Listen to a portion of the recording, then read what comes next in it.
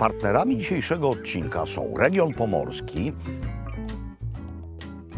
e, w którym leżą te oto ruchome wydmy w Słowińskim Parku Narodowym oraz Zen.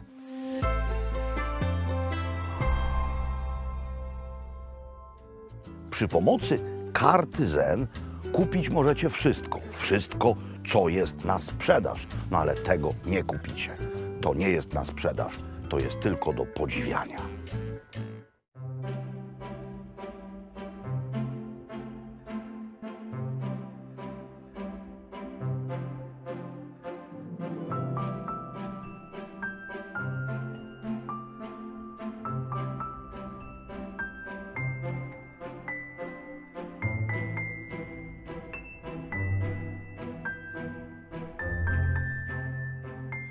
Jesteśmy wcale, drodzy Państwo, w wiosce indiańskiej, a to nie jest wigwam wodza.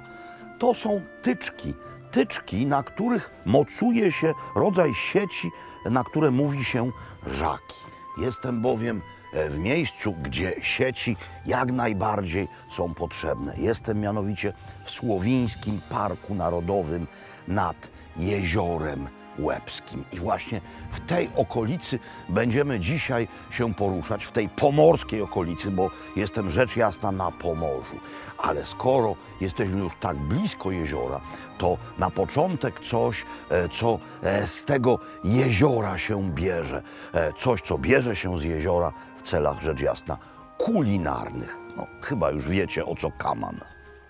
Pan Mieczysław Morgaś, czyli miejscowy człowiek instytucja, bo co jest tutaj najważniejszą instytucją? No rybak. Panie Mieczysławie, jak długo pan łowi? No już od y, 75 roku. I cały czas tutaj? Cały czas tutaj. E, dobra, jezioro ma połączenie z morzem, ale jest to akwen słodkowodny. słodkiej, tak. Ale morskie ryby też wpływają. Dokładnie. Morskie ryby tak samo wpływają. Wpływa tu na przykład łosoś. To jest łosoś, prawda? To jest łosoś. y, Wpływa tutaj między innymi tak samo y, y, ciosa, która odbywa tarła u nas tutaj w jeziorze. A ten potwór? To jest szczupak. To jest nasz rodzimy tutaj. A może go pan tak pokazać ładnie, jak, się to, jak, się, jak to wędkarze pokazują do aparatu? Jezu, jaki gigant! Ale to nie jest największy, jakiego pan Nie, nie, nie, to nie są największe. Największa sztuka miała ponad 20 kg. 24 kg chyba. Jezu, jaki piękny. No a zobaczcie jeszcze tutaj, mamy tu e, węgorze, e, coś co e, można pomylić z karpiem, ale nie jest to karp, to jest leszcz.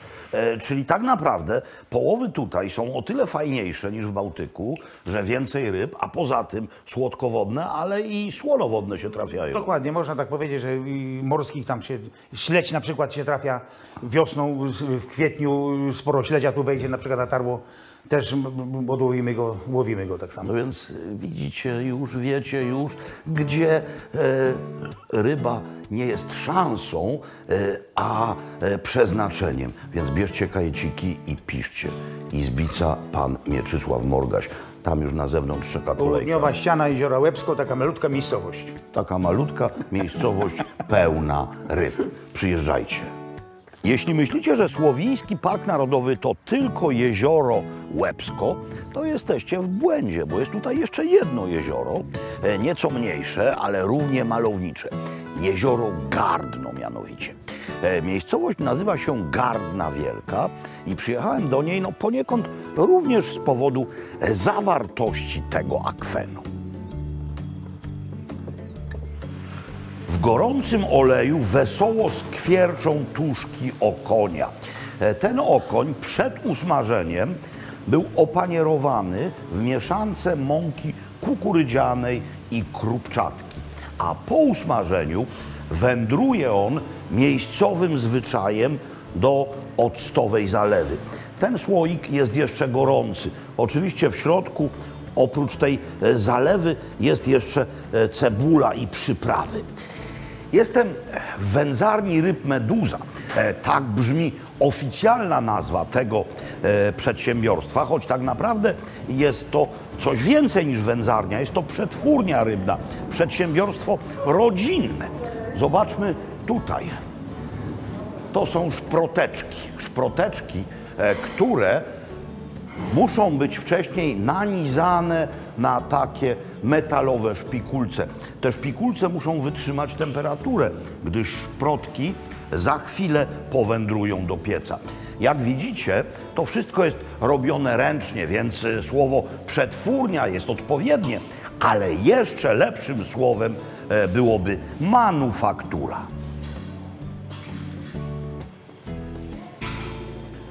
Szprotki już w komorze wędzarniczej wędzi się je na gorąco mieszanką dymu bukowego i olchowego. No więc otworzę tę komorę i daję dyla. Będzie dym.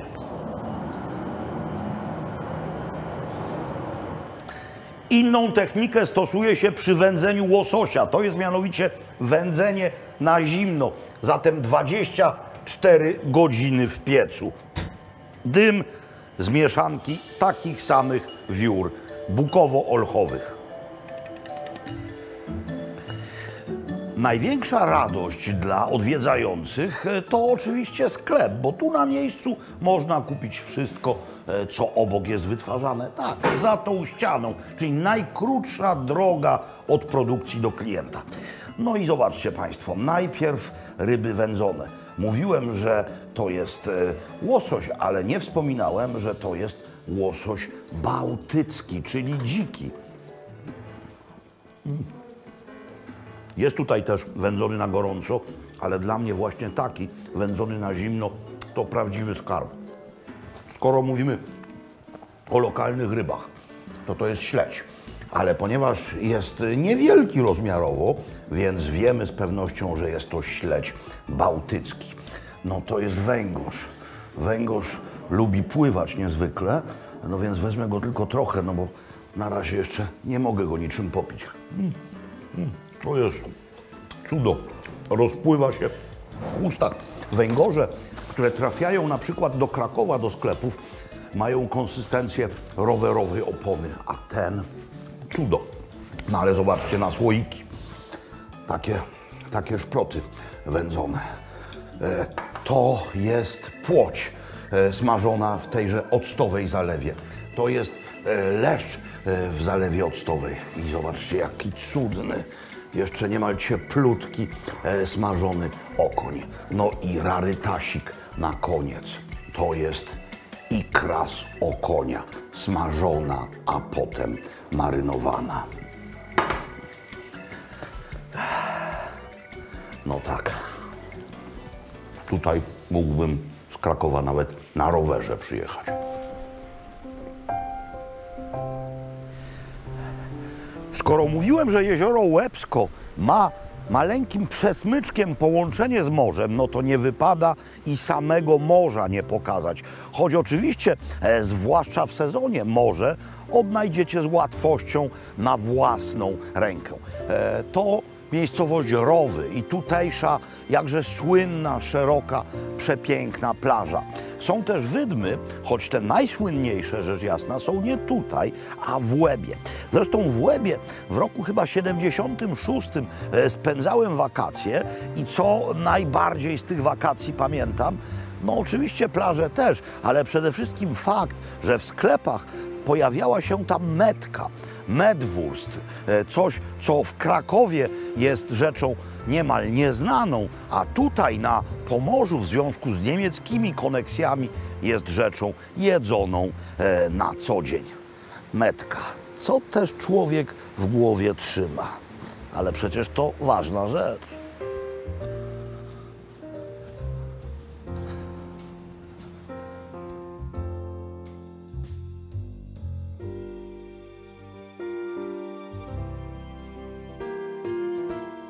Latarnia morska Stilo, bez wątpienia jeden z najważniejszych symboli architektonicznych nie tylko Słowińskiego Parku Narodowego, ale w ogóle całego e, tego fragmentu wybrzeża Bałtyku.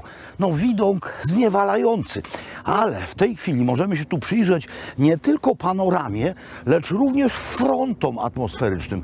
Zobaczcie, co nadciąga z tamtej strony. Szkwał, deszcz, widać to wyraźnie.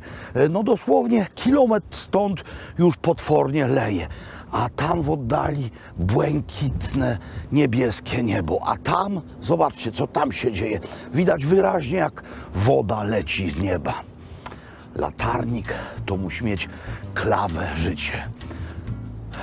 z punktu widzenia obserwacyjnego rzecz jasna. Bo schody nine. Pan Damian Łozicki, latarnik w trzecim pokoleniu. W trzecim pokoleniu. Czyli co, ojciec, mama, dziadek? Dziadek, ojciec, mama i teraz ja. E, Teraz już się tutaj nie mieszka w latarni. Nie, jest to tylko pomieszczenie służbowe do wykonania czynności służbowych. Dobra, pytanie głupie, ale może wcale nie takie głupie. E, wszyscy wiedzą, że mamy teraz GPS-y. No to do czego służą latarnie morskie? No teraz się statki e, orientują wedle elektroniki. Głównie służą do e, egzaminowania przyszłych adeptów e, sztuki pływania, e, zarówno dla żeglugi cywilnej, jak i marynarki wojennej. Stare metody nauczania, czyli za pomocą gwiazd w nocy i za pomocą stałych punktów na lądzie w ciągu dnia są dalej preferowane. No ja jak gdzieś jadę, to też najpierw oglądam mapę i staram się jechać na mapę. E, GPS-a już też włączam, ale jak ktoś używa tylko elektroniki, to jak wyłączą tę elektronikę, to w ogóle nie wie o, o co chodzi, prawda? Dokładnie. Myślę, że to o to chodzi. E, proszę mi jeszcze z łaski swojej powiedzieć, no dobra, intymne pytanie. Lubi pan to, co pan robi? Bardzo. Jestem, e, należę do tych ludzi, którzy wykonują pracę, którą lubią. E, łącznie z chodzeniem po schodach? Łącznie z chodzeniem po schodach, ponieważ jestem byłym sportowcem i uwielbiam trening. A ile jest schodów? 128. I można tutaj e, latarnię zwiedzać. Można tu przyjść i po tych schodach się wspiąć. Tak, od początku maja do końca września. No więc pamiętajcie, najmilsi, 128 schodów, czuwaj. Do zobaczenia w stylu. Nie wiesz, nigdy kobiecie śpiewała kiedyś Budka Suflera. Ja bym wszakże zmienił ten tytuł na Nie wiesz nigdy GPS-owi. Wpisałem sobie kolejny cel podróży. Sasino, restauracja Ewa zaprasza. No i mniej więcej od pół godziny czymś takim jedziemy. Jedziemy przez środek lasu, który momentami jest lasem wyciętym, ale momentami jest lasem bardzo gęstym e, i nie ma e, drogi asfaltowej. Mamy drogę bitą, drogę polną. No i tak jedziemy. Nie kazałem mu czymś takim jechać.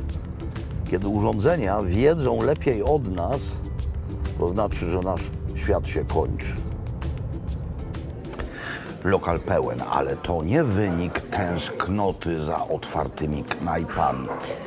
Tutaj zawsze było pełno. Ewa zaprasza. E, To miejsce działające od 30 lat i zawsze było jaśniutką gwiazdą na miejscowym e, firmamencie kulinarnym. No, zaraz to Wam zilustruję zresztą, no bo wziąłem Cóż, łakomstwo, trochę za dużo, ale to e, dla naszego wspólnego dobra. Kuchnia nowoczesna, ale kuchnia czerpiąca z lokalnych tradycji. Proszę, tradycyjny półgęsek, tradycyjny nie tylko dla Kaszub, również dla Kujaw i dla Wielkopolski. E, Wędzona gęsina podana w formie carpaccio, do tego marynowane prawdziwki. To prawdziwy skarb, prawdziwy biały kruk e, w restauracyjnym wydaniu w kraju naszym. Móżdżek po polsku, e, podany na cieście francuskim. Idźmy dalej. To temperatury nie straci, gdyż pod tym się pali. To jest mianowicie miejscowa zupa rybna. Jeśli już mowa o rybach, no to dorsz. O tej porze roku nie jest to dorsz bałtycki, ale nic to, e, gdyż jest cudownie podany i podany razem z czarną soczewicą. Tak się we Francji między innymi dorsza podaje, a tak się podaje babkę ziemniaczaną na Kaszubach. Jesteśmy na północnych Kaszubach, zatem babka ziemniaczana i sos borowikowy albo prawdziwkowy, jak kto woli. Dla niejedzących mięsa tarta tarta e, z koziego sera i porów, a dla jedzących mięso na przykład polędwiczki z dzika, do nich e, gratin e, ziemniaczane, no i podsmażone e, zielone szparagi. E, Dla niepijących alkoholi na przykład malinowa oranżada. I to jest tylko ilustracja, to jest tylko wierzchołeczek góry lodowej tutejszej karty, która w całości jest równie atrakcyjna. Zacznę od tego, chociaż to nie wystygnie, ale słuchajcie, w mojej części Polski e, czyli na Polski południu, w ogóle nie ma zwyczaju robienia półgęsków, a jeszcze półgęski carpaccio. Mm. Ależ dobre. A to móżdżek. Móżdżek. Jak ktoś lubi podroby, to doceni taki móżdżek. On jest e, posiekany, wcześniej oczywiście e, gotowany, razem z jajkiem podany i to ciasto. Mm. Potworna doza cholesterolu, a przecież nie jadam tego codziennie. No jeszcze tylko to. Gdyż tak naprawdę kręcą mnie proste rzeczy. A to jest proste i piękne. Mm. I kapitalne. Cóż mogę powiedzieć?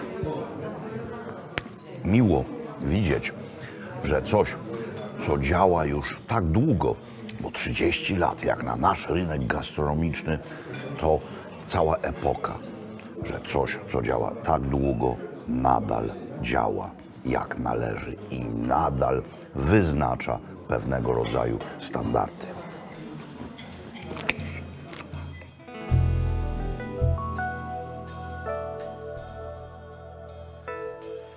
Rzecz jasna, prawdziwą perełką Słowińskiego Parku Narodowego są wydmy, ruchome piaski. To jest, e, jeśli chodzi o takie ukształtowanie terenu, w zasadzie jedyne takie miejsce nad Bałtykiem, wyjąwszy jeszcze wydmy na Litwie, na Mierzei Kurońskiej. No ale tutaj mamy bliżej. No chyba, że ktoś mieszka w Puńsku albo też w Suwałkach. Ale nawet jeśli tam mieszka, to i tak tutaj powinien przyjechać. To są nasze ruchome piaski. To jest nasza pustynia Gobi. A to abstrahując od wszystkiego, jest jedyne w swoim rodzaju i przecudne miejsce. Pamiętajcie tylko, by chodzić po wyznaczonych trasach. Wydm w całości zadeptać nie wolno. Miejscowość Podole Wielkie, która została niejako stworzona e, po to, by obsługiwać wielki majątek ziemski, e, którym przez całe stulecia władała e, rodzina pruska, rodzina junkierska von Stoyen. Po 1945 roku stworzono tutaj rzecz jasna PGR, ale ten PGR miał szczęście, bowiem wzorem wielu innych nie został po 1989 roku zniszczony, rozgrabiony, podzielony. Otóż rodzina państwa Paszotów, która tutaj wcześniej, jeszcze w czasach PGR-owskich miała niejako swój staż, wzięła cały majątek w swoje ręce i on rozwija się niezwykle obiecująco, zwłaszcza jeden kierunek tego rozwoju jest ważny i o nim chciałem teraz opowiedzieć. Niezwykle ważną częścią wielu majątków były gorzelnie. Nie inaczej było i tutaj, w Podolu Wielkim. Ta gorzelnia e, była również czynna w czasach PGR-owskich. No po prostu przywożono tu ziemniaki, z tych ziemniaków robiono spirytus, a ten spirytus odbierały polmosy.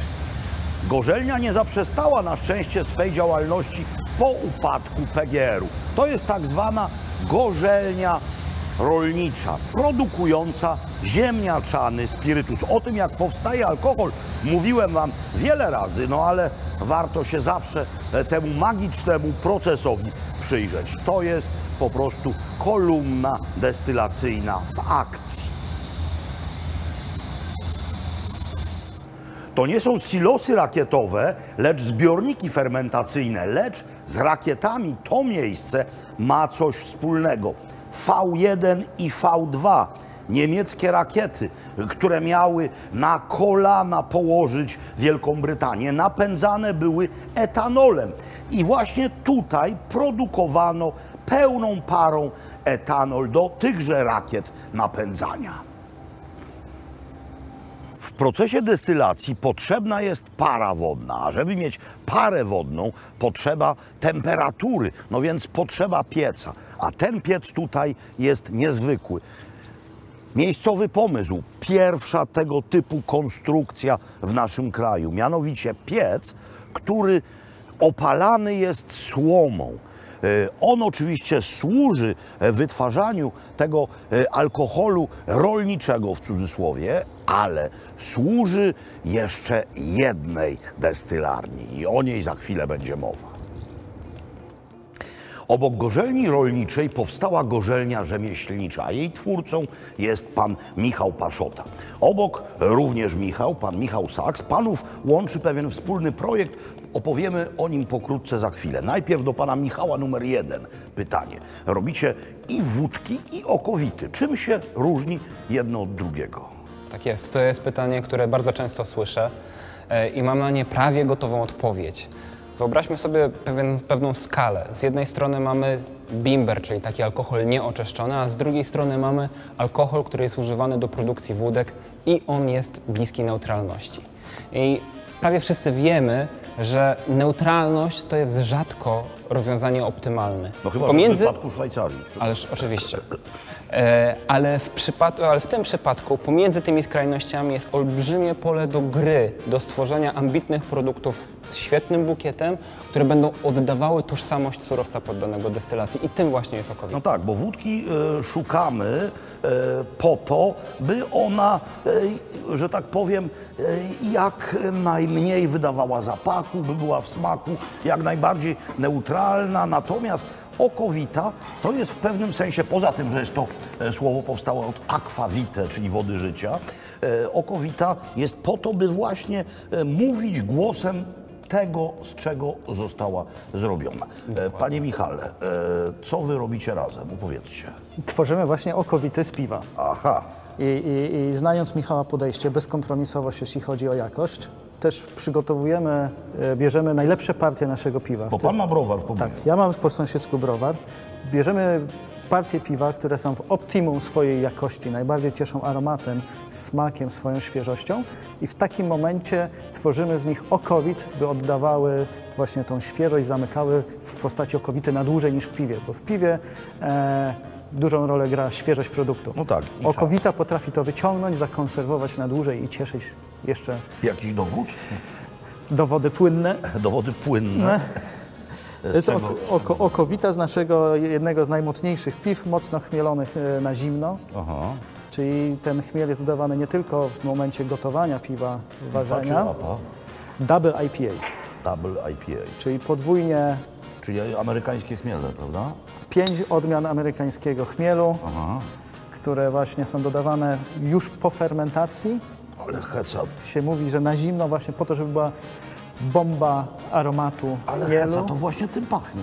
Słuchajcie, to e, w nosie ma niezwykle e, wyczuwalne to, za co właśnie ipy kochamy, czyli e, no, chmielony zapach. O, nie, to nie w moim brzuchu na szczęście. Tutaj kolumna gada, wiecie, tutaj to wszystko żyje, no ale e, moje wnętrze powinno głosy wydaje, jak e, coś takiego widzi. Słuchajcie, muszę wam powiedzieć, że jesteście niemal pionierami w naszym kraju, bo e, no, tylko piłem jedną okowitę e, piwną, jak dotychczas, zrobioną w Polsce. Piłem to w Niemczech, w paru innych krajach, w Belgii. No, no genialnie, słuchajcie, za powodzenie tego projektu. E, tak właśnie powinno się do lokalnych produktów podchodzić. A wy, moi drodzy, e, pomorskie przemierzając, nie zapominajcie o Podolu Wielkim. Musicie wiedzieć, że część z tych rzemieślniczych destylatów trafia do beczek. Te ziemniaczane przeważnie do beczek po bourbonie, to te jasne beczki, amerykański dąb. Natomiast te żytnie do beczek po tokaju. Żytni destylat i beczka po tokaju, no tak najprawdopodobniej robiono ze starką, czyli z żytnim destylatem, no bo tokaj w dawnej Polsce to było najpopularniejsze wino. Zatem co tutaj widzimy? Moi drodzy, tradycja rodzi się na nowo. Naszą kwaterą główną w rajdzie po Słowińskim Parku Narodowym jest Pałac Poraj w miejscowości Poraj. To arcyciekawa historia, e, no bo to miejsce, zresztą piękny, rzeczywiście nieco pałacowy budynek ze starym, jakże ładnym parkiem w czasach pruskich, a potem w czasach niemieckich. Pamiętajcie, że ta część Pomorza nie należała do II Rzeczpospolitej. E, To były e, wówczas Niemcy. Otóż w czasach niemieckich, a wcześniej pruskich, e, był to innymi Instytut Badań nad Torfownictwem, więzienie, a potem zdaje się ów instytut być dyrektorem takiego instytutu, bo dyrektorem więzienia bym nie chciał być, ale mieć wizytówkę, choćby e, z napisem badacz torfu. To byłoby coś. W każdym razie jest to bardzo sympatyczny hotel i bardzo dobra restauracja. Mają w karcie między innymi królika w śmietanie, e, mają ozorki w sosie chrzanowym, a w sezonie rosół z węgorza. I właśnie o tym będzie teraz gadka.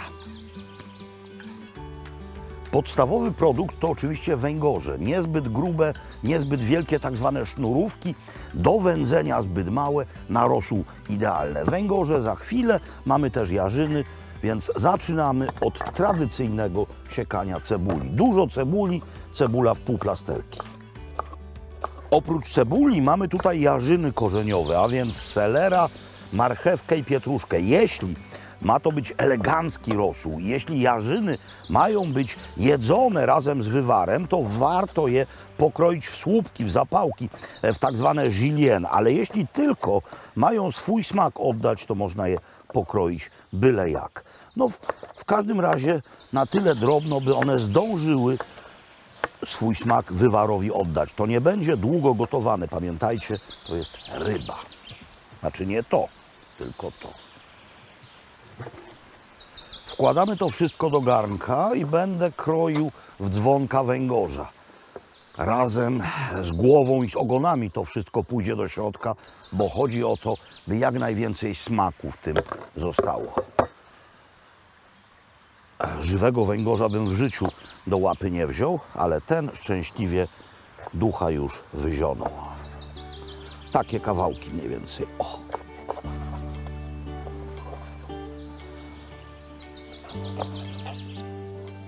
Już tylko przyprawy i woda. Ach, I te wszystkie niesforne dzwonka, które nie trafiły do garnka. Jakie przyprawy? No, arcy polskie przyprawy, to znaczy nie rosnące w Polsce, ale w polskiej kuchni używane od wieków, czyli liść laurowy oraz ziele angielskie. Sporo, sporo trzeba temu wywarowi nadać smaku, więc nie żałujcie, nie żałujcie. Teraz ziele angielskie, wody tyle, by to przykrywała. Tej wody nie może być za dużo. Oczywiście sól, pieprz będzie potem.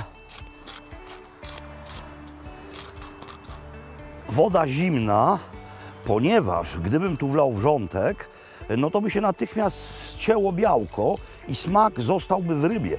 I tak ten smak w rybie zostanie, ale dzięki temu, że to będzie zagotowywane z zimną wodą, e, to więcej smaku będzie miał wywar. No tak samo jest z rosołem. Jak bierzemy mięso do rosołu i chcemy mieć dobry rosół, to wrzucamy mięso do zimnej wody. Jak robimy tafel szpic, to wkładamy ją do wrzątku. Ostatnia rzecz, mianowicie ocet. Może być zwykły spirytusowy. Po co? No po pierwsze dla smaku, a po drugie po to, e, by się ryba nie rozpadła. No i teraz przykrywamy i od zagotowania mniej więcej pół godziny i będzie dobre. Węgorzowy rosół jest gotowy, no ale skoro mamy ten wywar, skoro mamy ugotowaną rybę, to można zrobić bardzo szybko jeszcze jedno danie, czyli rosół, a również węgorza w sosie koperkowym. Tutaj już mi skwierczy masło, robię delikatną zasmażkę, delikatną i zrobię po prostu koperkowy sos.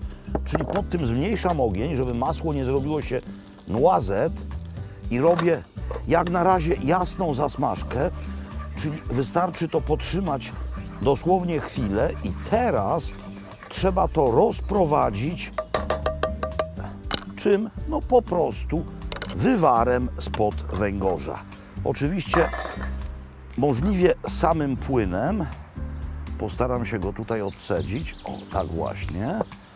No i trzeba mieszać, żeby się nie zrobiły grudki.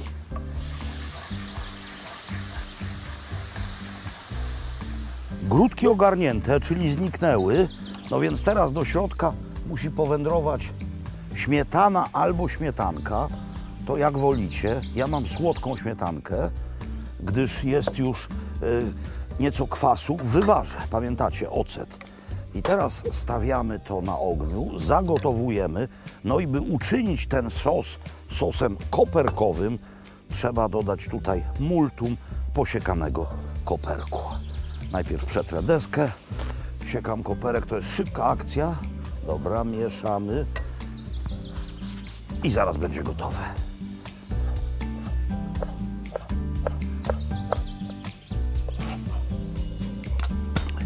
Sos gotowy, rosół jeszcze gorący, no więc podajemy dwa talerze. E, Zaczynamy, no dobra, zacznijmy od tego. Spróbuję tak wlać ten sos direkt z patelni. Okej. Dobra. I teraz, no tak, trochę uświniłem, ale tylko troszeczkę. Już jest dobrze. I teraz Węgorza w sosie koperkowym bardzo często podaje się smażonego, ale po co on ma być smażony, skoro może być gotowany po prostu? Zobaczcie, te dzwonka się nie rozpadły dzięki temu, że węgorz jest ze skórą, ale też dzięki obecności w tym octu. Już, już, już, chwileczkę, chwileczkę, chwileczkę, chwileczkę. Bardzo proszę. No i to jest jedno danie, e, a drugie danie będzie już za chwilę. No i to oczywiście, ja wiem, te jarzyny powinny być e, tutaj pokrojone w julienne, ale ta gęstwa i tak jest wspaniała, a najwspanialszy jest wywar. Zobaczcie, w ten bardzo prosty sposób z dwóch miejscowych węgorzy mamy dwa. Bardzo proszę.